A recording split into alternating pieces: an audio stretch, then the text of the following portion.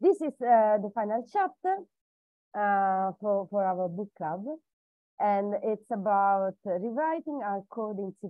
So our learning objectives are how to improve the performance of our code by rewriting in C++. And this is would be for some specific K functions, which the rewriting in uh, uh, this language it make an improvement. Make an improvement. Then we will see how to use uh, this package, RCPP. So the RCPP package is the package that allows you to use uh, C++ within the R environment. And it provides some functions for you to convert the code and everything, source the code and everything. So this package is provided with K contributions by Doug uh, Biggs and John Chambers and JJ Edler.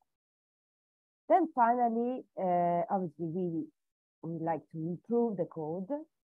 We translate the code and then we evaluate the two codes. So the one made in R and the one made in C++ to see uh, which one is faster. Okay.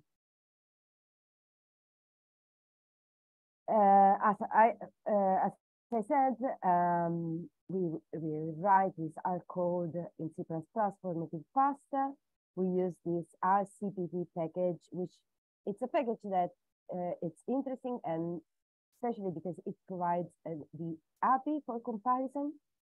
And then we have a closer look at C++ and how it um, um, so provide, we will provide an overview of the language, its key conventions, uh, to focus on the differences within R. Uh, then we will also have a look at the standard template library, the STL, which is, is the C++ library, uh, the standard library in C++ to use, which provides a set of extremely useful data structures and algorithms.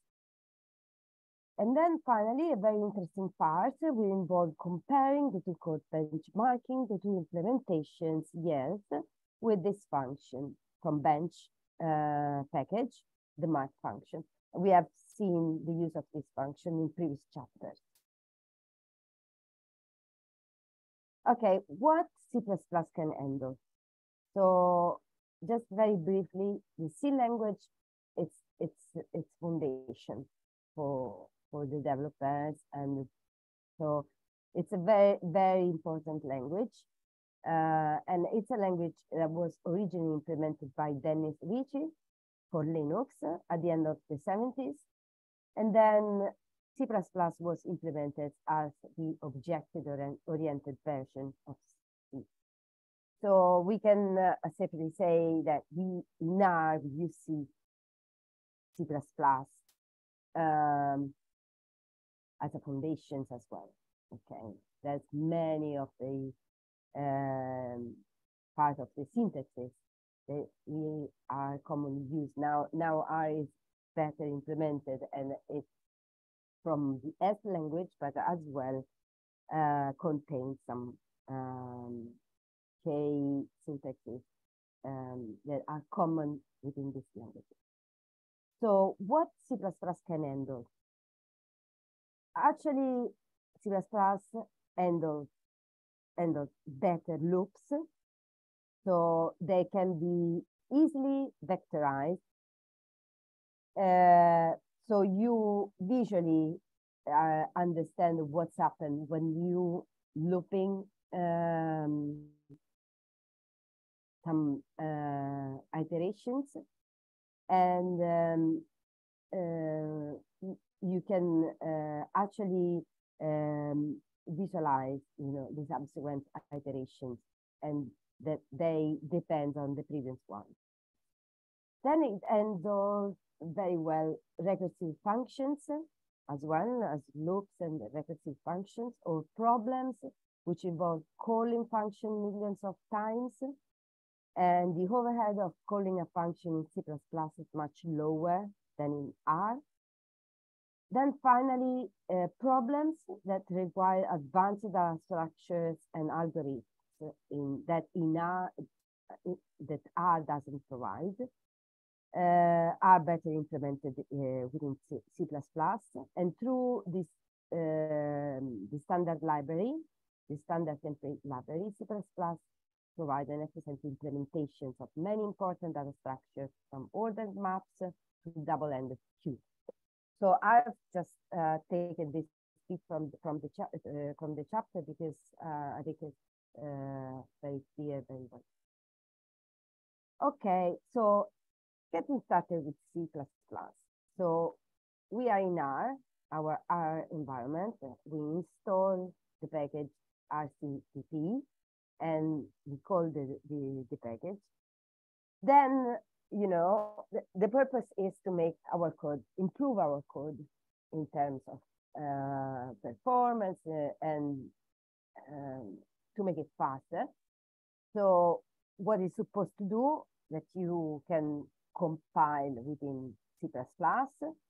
You do, you know how to use C++. And so you need, if you are on Mac, like the C code environment. So then you can use C++, you build up your code, and then you stick into R.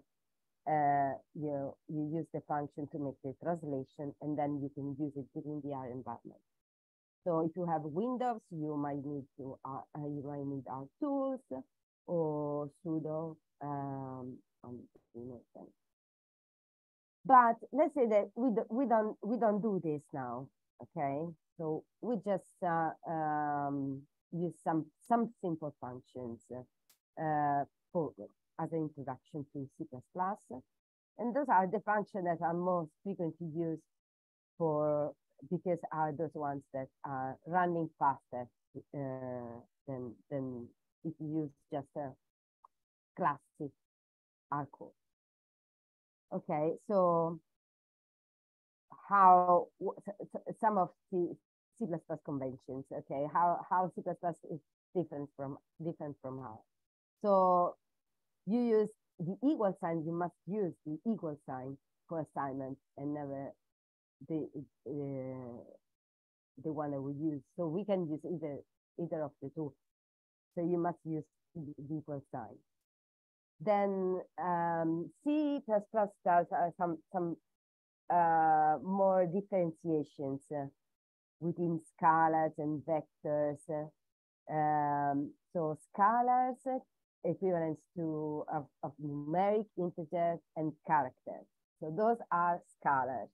Then you have logical vectors. They, they can be double, int, int, integers, strings, and boolean, bool. So uh, you need to explicitly, explicitly, sorry, use return, the return statement at the end of anything you, you, the function. So at the end, it requires the return statement. Then mind that you need to use the semicolon. Because if you forget the semicolon, it doesn't work. And you don't, you might get lost. Uh, so mind that you, at the end of each line, so in, in our, basically, in our, we can have a look at each line, try it and see if it works and everything. In C++, you have a, a bunch of lines inside a statement. So you cannot check run one line. You need to run the the the the the, the, um, the group of lines, and mind that at the end of each line you have this semicolon. Okay. Then uh, for the statement uh, as a different syntax, like you you have for and then init as initiation then a check, and then an increment. So uh, anytime you want to like assign a value, you, you need to initiate the value, initiate the function, then check the function if you want to check, and then do some increment and specify that you are using this verb when you want to do this, these actions. Okay. Then you have the uh, vector indices starting at zero and it starts at zero.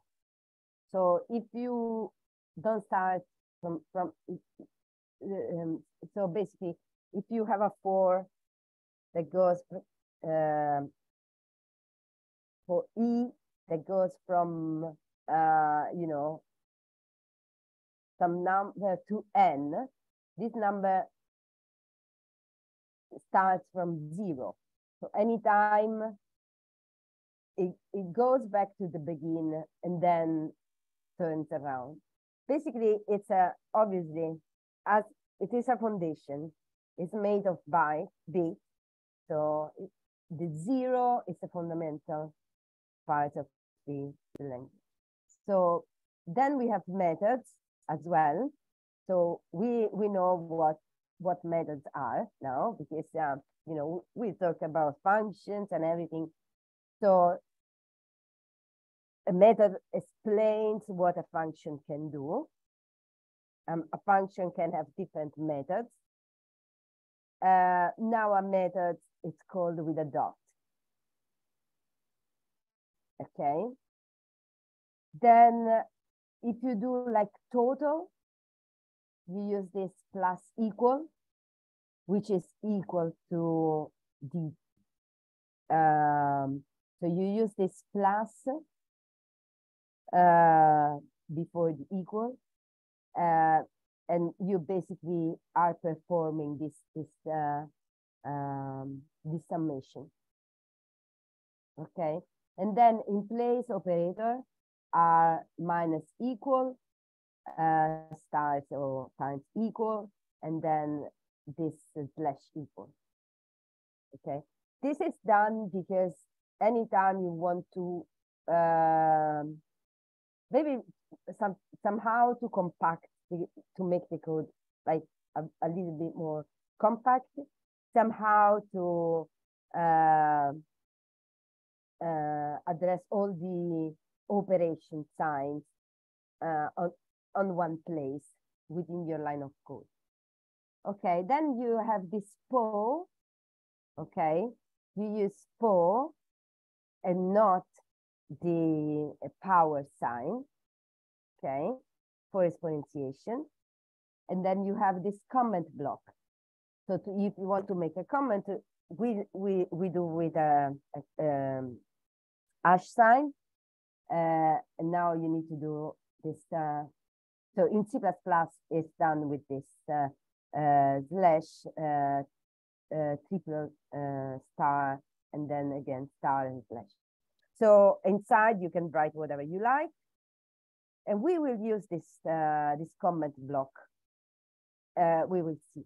So this is like a, a very little introduction of the differences in convention, in, in sign convention that, that you need to mind when you using R and you want to implement some C++ code within your uh, R environment.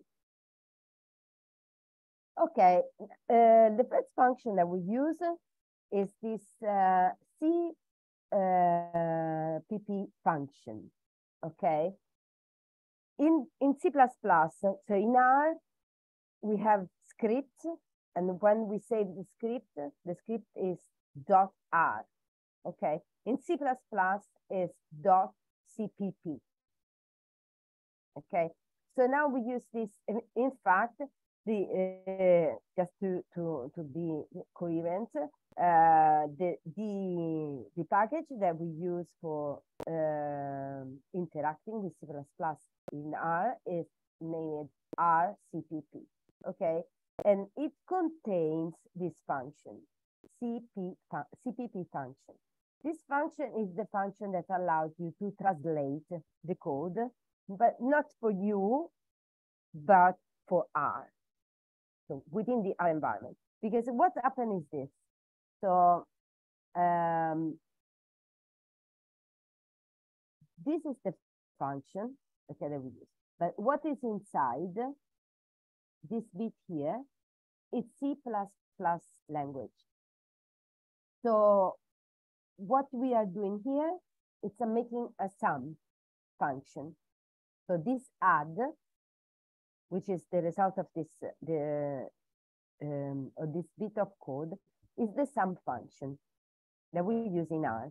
Okay, there are different ways, deep many, no, not many, but so, so more than one way to make a sum function in C++.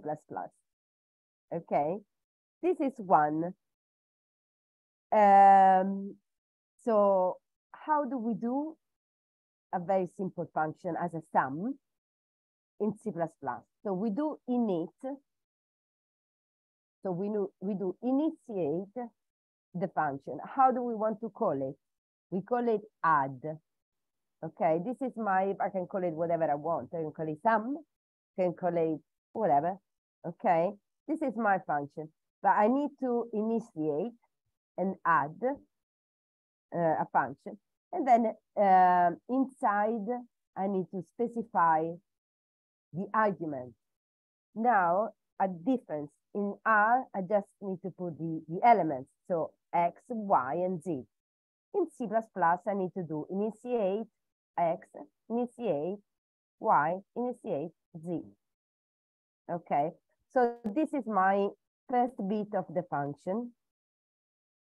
What, what's happening inside the function is quite similar, okay, except that you need to add the return statement and the semicolon.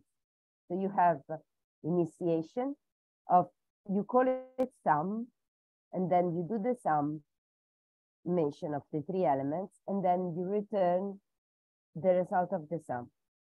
Okay, so I, I did, so the, in the chapter, there was this function, very simple. You stick this bit of code inside the CPP function. So what do you obtain is, is the add function written in uh, C++ that can be read can be read, read in uh, R. Okay, so if I run this um, add, the result is this. So it's a function with these three elements and call a pointer uh, with this in this location with some uh, you know bits and everything. Then I do some operation assign values to x, y, and z. So I add these three value, one, two, three, and so the result is six. Okay, so now this is all. This is everything. So we're done. Now we need that we have two examples that we can, they are slightly different that we use. But then what we do is using this C++ function, putting inside our C, uh, the translation function, putting inside our C++ code, and then if we like, we compare the fastness of these two waves to make our function. Okay, so a second example is for example, how to build a numerical function without arguments. So this is another function in R. Okay, you this is R. You do one, and you do a function which uh, release the number one. Okay, in fact, then I add 100, and the result is 101. If I would like to do the same in C++, this will be the code. So I do initiate one. I don't put any argument inside, as I did here, no argument. And then what I like that this function does is return one. So this is my C++. I do the translation. I put this bit inside the CPP function and I translate it. So I'm um, so we can we can go forward with other examples here. But I like to show you, for example, this this one here. This is a sum of a sequence, and there is a comparison between the sum function made, made in R and the sum function made in C++. And then we see, so with the use of the benchmark uh, syntax, which one of the two is faster. So we can see like this is the, this is the expression, the minimum, the median, and the iteration in seconds, the memory allocation, and um, and the uh, so the um, the things that we don't need it basically the the bits that we don't need. Okay, so what's happening, for example, in this function is that uh, uh, if I do a sum, um, I like to sum a sequence of numbers, okay? So I, I make a four um, from E uh, that goes from E uh, to a sequence X of numbers. And then I like this uh, to be, um, to, to, obtain the sum of this, one, uh, one at a time. So if, for example, this is a, a simple function made in R, so function total starts from zero, so set uh, the variable total, and uh, it's starting from zero, and then uh, I run a for, which at um, each value adds the value of a sequence x. Now, if I um, assign uh, a random uniform of 100 uh, values to x and then run this function, sum of x, I obtain the, the, the final value, which is the sum of all this, um, the, the value of this, uh, of my x. Okay, so this is a simple function. What's happened within C++? Okay, this is the code in C++. Okay, now, because um, that uh, the bit before, so it's very important to uh, distinguish the, the type of uh, uh, elements that you are used inside uh, a function. So now we are using a double, and uh, uh, this is our um, function. We call it whatever we want. We now call it sum of C. Inside there is a numeric vector so the one before, uh, I call it initiate.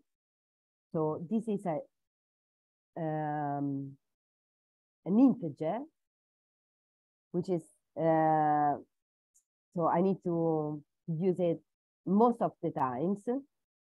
And uh, now I, again, uh, use this value uh, and assign it to uh, um, x size. So this is a convention that you use in C++. Uh, you can use each size or other uh, of, of the same kind. So basically you, um, your result would be a double. Uh, this would be a numeric vector. And then inside you have uh, um, a certain number of integers or values, uh, then you specify what the total would be, and then you run the same way the for. But this time, E needs to start from zero. The I, sorry about that, needs to start from zero. And then it will be less than n, which is the maximum size that you have established, and then increments one by one. Okay, so this is the for, and this is what's happened. because the total gets incremented. This was this would be total equals to total plus x i. Okay, instead you do this all on a side, on a side. And then you finally return return the total. So um, it's slightly different language. Uh, it is um, a little bit more articulated and uh, it requires specification of the variables, of the different kinds of variables very precisely, but then you get used to. Okay, so now that we have used C++, we have our function R, we like to compare them. So this is the classic sum of x in R. This is our function in R, the new function that we made with a for loop. Uh, and then this is the sum of C. So we see that the sum of C uh, a certain memory allocation, which is quite different from the other two functions. And, but uh, it's faster of the, the, the four um, sequence, for loop sequence that we use for summing up all the values. So our build it up sum of R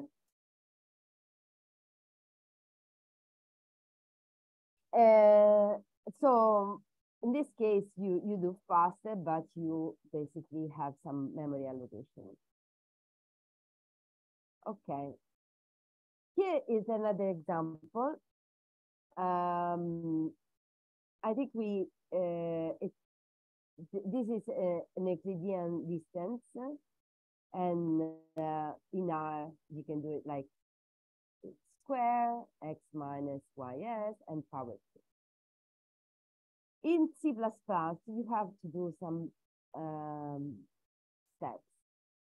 Okay, you have a numeric vector, you have a distance, so this is the name of the function.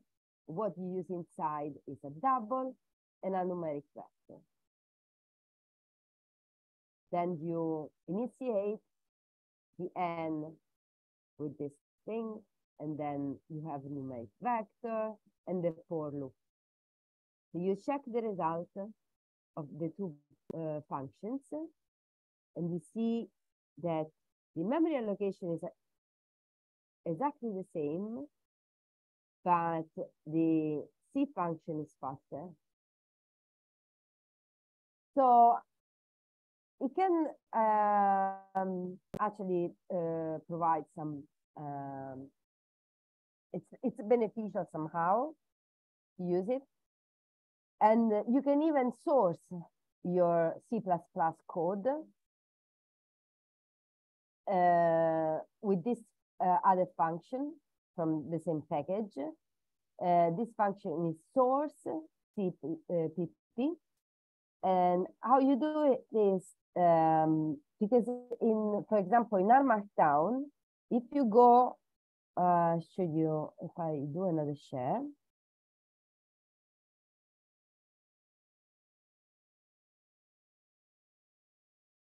in R Markdown, if you go here on this uh, the uh, language button, different language button, you have RCPP uh, option within the list. So basically what's happened is that uh, you can uh, open up a chunk. Let's go in the source. Okay. You can uh, open up a chunk RCPP and it's you just go here and click on the RCPP. And it, uh, inside here, you can include, you need to write. So basically you are writing C code, C++ code inside this chunk. And uh, you need to use this uh, hash include and using namespace. This is very important. And then you specify what. So this chunk and this package. And then you like to export this bit later. So basically you can run uh, C++ code inside your R Markdown. Then you can even comment things and you can add our code inside and then you can source it basically. Okay? So obviously this is just an introduction. I'm not uh, I, I, i'm not um, i can't uh, uh, do much in less than an hour. Can you see my notes my okay so uh, basically in R, when you want, you like to sort some code, you use the sort function. In C++, you use the sort CPP. So you can use it inside your R Markdown uh, file. Let's see uh, a quick example. So um, this is the one that we've just seen. I can uh, like set a double. This is a function mean, um, uh, means like a, uh, um, function called meanC. Uh, this function is made of a numeric vectors x. It's initiated with uh, or in the there's integer of uh, which is different, but uh, you know, it's requiring initiation and um, um, for, um, that that definitely mm, to be need to be um, specified uh, the type of variable. So and then the result that you obtain it's a double. Okay, so this is actually the same as before. And then this is what's happened uh, in R if you compare the results. If we have a look at the book, which is not here,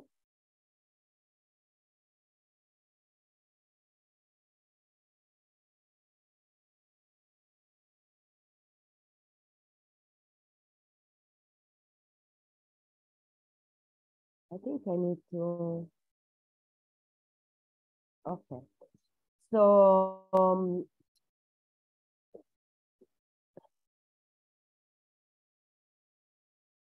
uh,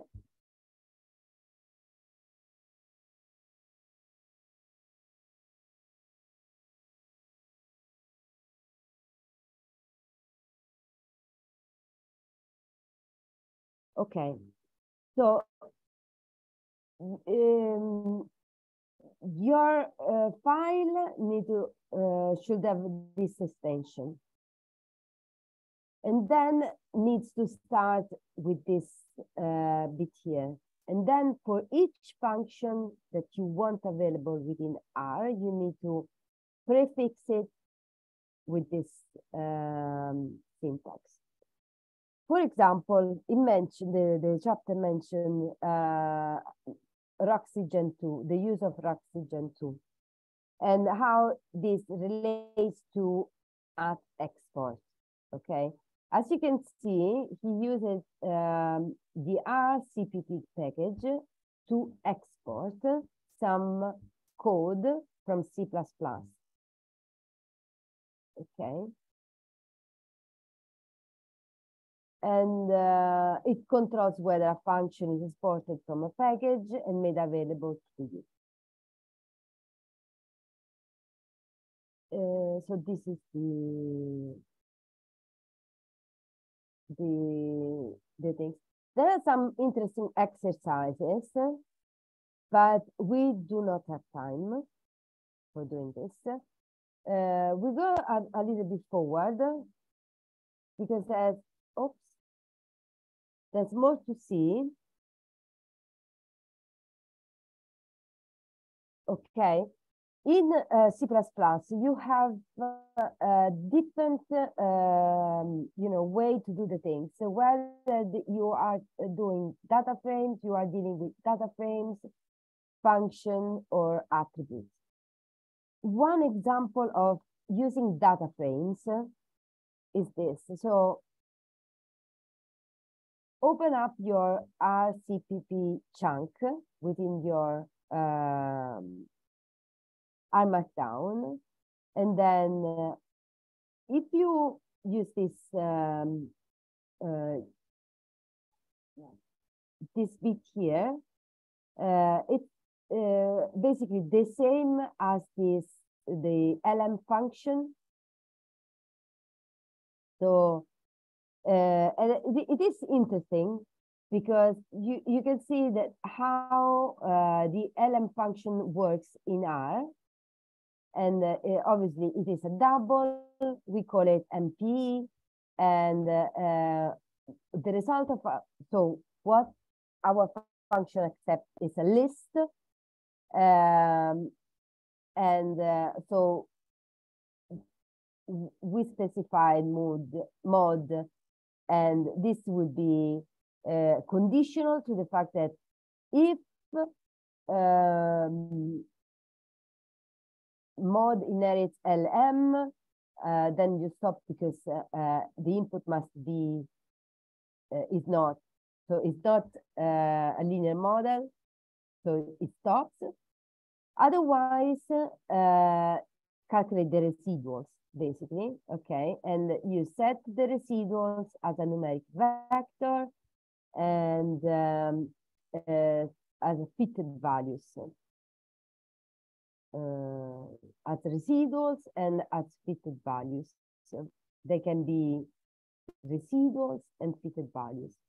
Then you um, in, uh, initiate an integer and with uh, this reciting site, and then uh, the double would be r equal to zero, and then you do the four, so which goes from zero to n, incrementing by one by one, and calculate the residuals.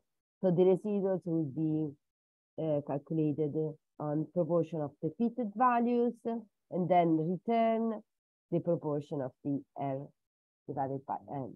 I, am not, so, uh, you know, you can uh, this is can be interesting for someone not interesting for for another if you don't uh, do these things but then uh, if you do the same thing um, you set the mode in R and use the, the function made in C++ with mod, which is your uh, model. You see that it releases the the median of the, the, the error level. Uh, and this is an example of values named data frames. Um, to, oh, no. Uh, yeah. Okay, so there are other classes which are uh, um, they they can be uh, we have seen integers, numeric, and so you know you can have a logical characters and everything. Uh, but then you can use lists, data frames, functions, and if you have functions, you know. Um, you can do other things and then you have attributes and, you specify uh, particular attributes and then so this is what uh, you can do with C++. Okay, it takes maybe a, a little bit of time to, if, if you are new to it, to get used to, but uh, then then it turns out to be useful. Okay, as well as R, uh, missing values are an interesting part uh, to deal with, and uh, C++ deals with missing values slightly different from R. So basically, you need to specify, as, as it starts with zero, you need to specify uh, uh, which type of missing value you are dealing with, because otherwise it doesn't count. Some somehow uh, all the missing values or add missing values where they are not. Okay, so important to specify if you, when you are talking about scalars, if they are integers or doubles, if you are dealing with strings, booleans, or vectors. Okay. Okay, this is the standard template library, and it's the library uh, of C++, and this is the fundamental library, and provide a set of useful data structures, okay, and algorithm. So you can use iterators such as um, specifying this way. Um, if it's a numeric, logical, or character, uh, you specifying the iterators. Basically, the, the it, uh, it provides uh, some uh, structures that uh, they can be used. And um, uh, there are some interesting resources. One is this book, Effective STL by Scott Meyers. And another one is the container. So this one here, which I have it already It's interesting. So this is the containers library. You have some, um, I put this in the chat. You, you can use this uh, um, for um, uh, check it um, many times. So you find all the things that you needed uh, um, when you are starting understanding a bit more about C++. Okay, so it's uh, it's the container. That's everything you need uh, for um, for starting up with with C++, but even implementing code. Okay, Finally, to conclude, there are a couple of case studies. One is the, the first one is very interesting. It's named the Gibbs sampler. And the, it's, the Gibbs sampler is basically uh, a method for estimating parameters, expectations. It can be used for, for several purposes, but in particular, if we are talking, for example, for inferential statistics, it's, it's important for estimating parameters. And it is a Monte Carlo uh, simulation uh, algorithm that has been adapted to sample for multi-dimensional target distributions and Gibbs sampling generates a Markov chain of samples, each of which is correlated with nearby samples.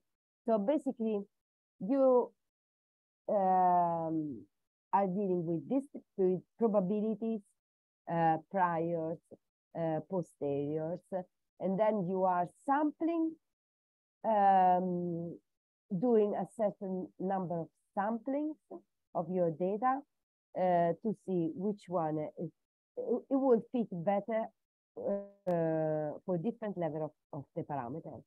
Okay, this is uh, here, there's the mention of a couple of blogs, which are uh, very interesting. One is this one here. I'll put in the chat.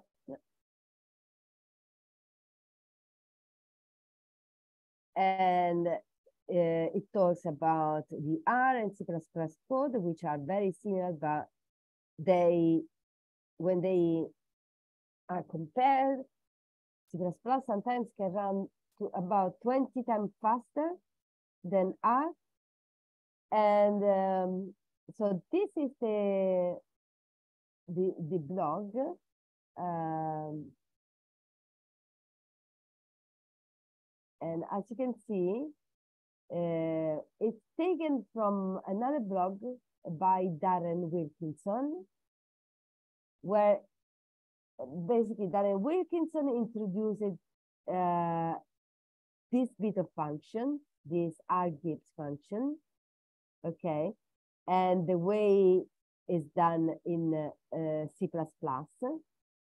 And this is a double for, okay, which so the, the, it's a double index. So you do for E in 1 to n and for j in 1 to 10, so another value. Uh, of two values, the, the, the, gamma the gamma distribution and the normal distribution. And then you make these two distribution running at uh, uh, with two indexes And uh, here, uh, the, the, the blog, uh, so basically takes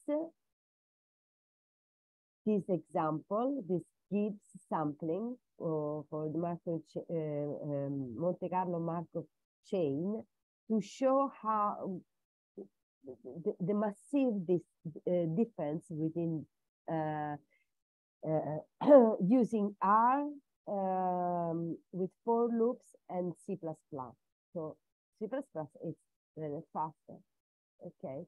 And uh, I found one more example um, about Gibbs sampling on this RPub. This is from um, this researcher, uh, which I'm I'm not uh, um, I'm, I'm, I'm, I don't know anything about it, but it, it basically goes through um, the, the maths of the Gibbs, Gibbs um, sampling and it performs some comparison to see how the parameters change when you make um, uh, some uh, different iterations and then concludes that effectively um, there is uh, some the the so if you change the parameters uh, this is effective in the distribution. So basically you don't know how the distribution behaves and you like to work on the parameters and to to see how these parameters can uh, affect your distribution. You do some samplings in a way that this parameter can uh, have different values. And so then you see how your distribution changes with these different parameters for different values of the parameters. So you do uh, um, this many times. Um, and um, if you do this in C++ and compare it with R, uh, you do rather faster in C++. So the fun part of the thing is that uh, um, basically Darren Wilkinson stressed the fact that it's rather, uh, so it, it's uh, sometimes better to have uh, so the rather pragmatic aspect of how faster and or easy it is to write code rather than just the runtime. So it's fluid and you can do it uh, um, and it's also faster. So here uh, it's the R code with the two for loops and here is the C++. And as you can see, now that we have been through a couple of examples, you know that you need to add the init and that it starts from zero and it's less than add n, and you need to increment these things. So you have seen three, four examples of this type of loops. Uh, and now it's, it's already a little bit more familiar when you look at it. Then you will remind that you need to add the return, the, the uh, semicolon. So it's exactly the same, but you have a little bit more like need need to be a little bit more specific about the type of uh, values of the Gibbs. And then we check, if we check the Gibbs as a case study, we see these are the results. This is R. We see that uh, um, Gibbs has a different values and but the memory and the, and the memory allocation is the same. So this is uh, uh, microsecond, and this is a nanosecond or something like that. So it's rather faster. And even are as a, a little bit, uh, just a bit more of memory allocation, uh, which, and even the junk it's a lot. Uh, so, okay. I think it's uh, four minutes. Uh, I don't know if you have any questions. Otherwise, this is the, the, the, the second case study. And then um, the, there is how to use um, the package, but I think you can have a look at the chapter because it's if you need it, it's very straightforward. Uh, and you can build up, so you have a couple of functions that you made with C++, and you can even build up a package uh, and then source it to use it within R.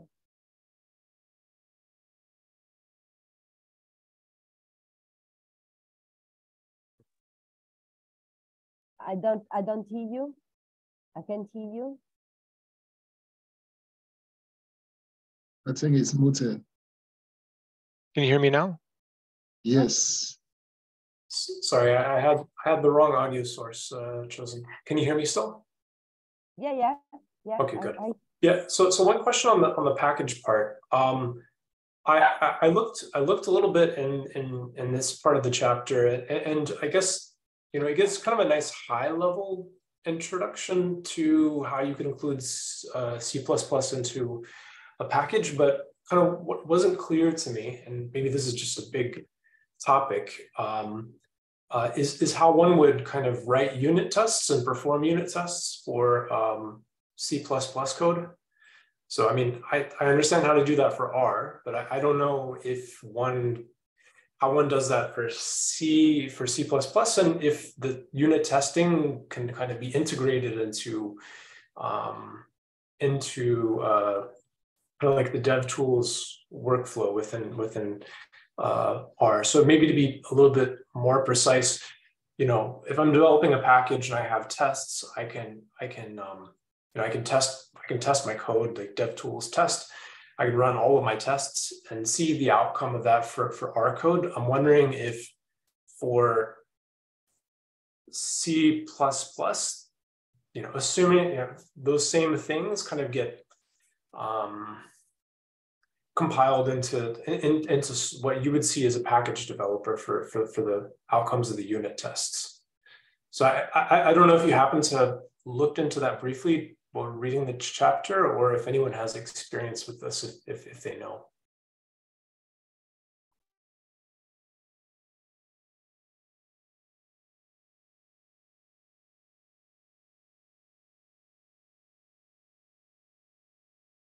Okay, um, um, I don't have much experience uh, combining the two languages.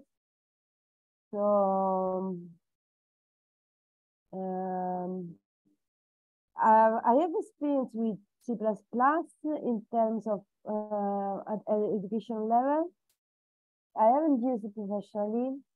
Um, so your question is about how to, to use the, um, can you just, um, how to use the, the, Yeah, so I, I was kind of thinking like, so for any functions that you write, you're going to want to write unit tests. So if you're developing an R package, um, and with an R package, you, you'd have R functions. Like, let's imagine now that you have some functions that are implemented in, in, in C++. I'm wondering kind of how you would do those unit tests, right? Would you do them at the level of C++ or would you do them at the level of like the R wrapper for them? Um, and then I guess separately, sorry, I mean, this is probably a, a, a big question in an area where none of us none of us have much knowledge. I'm, I'm, kind of I'm kind of curious. I I was actually uh, looking at um, this this one package I, I, I use a lot, Haven, um, which which uh, allows you to in, like ingest data from other statistical software packages like SAS, SPSS, uh, Stata, um, and it relies on a C sharp library actually. So I guess maybe I'll I'll have a look there, and if I can discern what's going on, I'll report back to the group.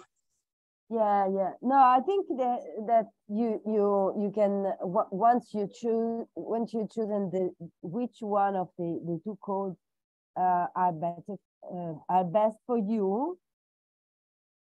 Um, then uh, at that point you you if you you if you have chosen R, you you know how to to well to, to check, to test your function.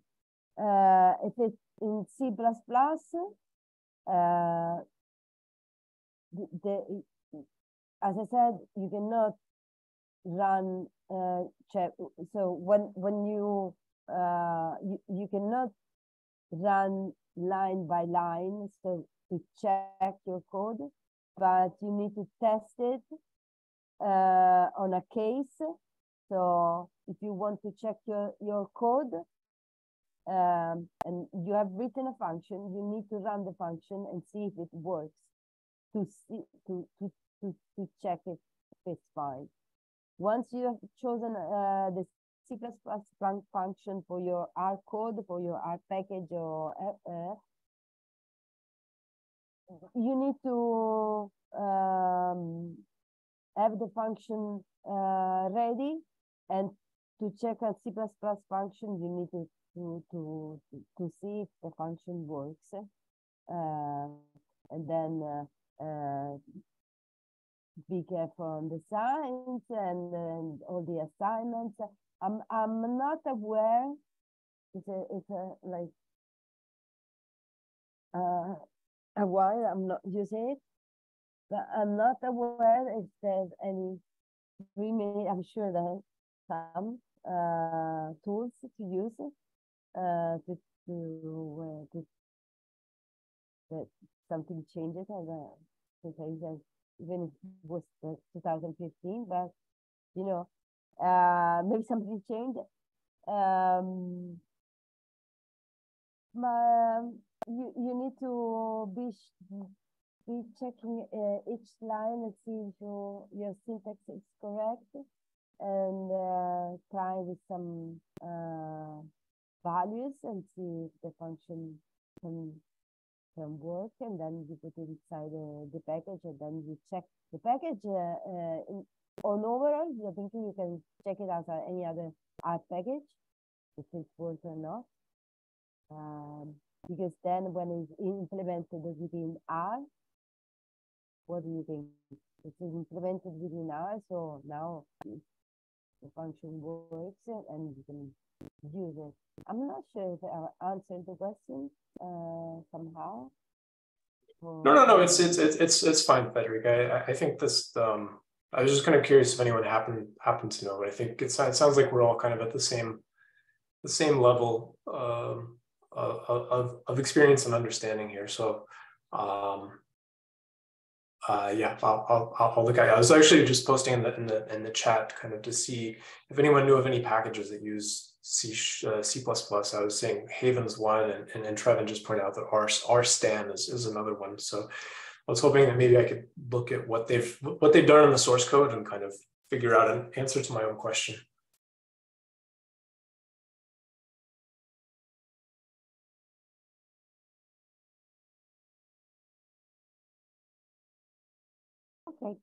Great.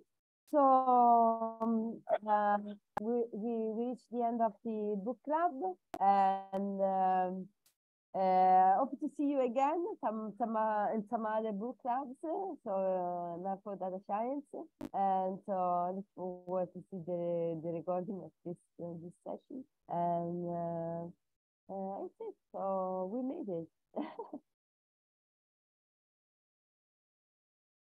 Bye. Yeah, Bye, thank you. Bye. Thanks. Bye bye. Bye. Bye. Bye. Katie.